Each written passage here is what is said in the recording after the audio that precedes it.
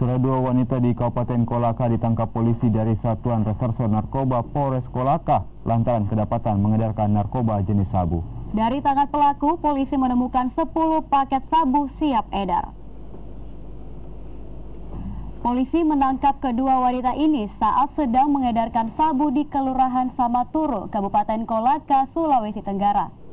Selain menangkap pelaku, polisi menyita 10 paket sabu siap edar dengan berat sekitar 7,6 gram. Kedua wanita ini mengaku barang tersebut didapat dari seorang bandar di Kelurahan Toha, Kabupaten Kolaka.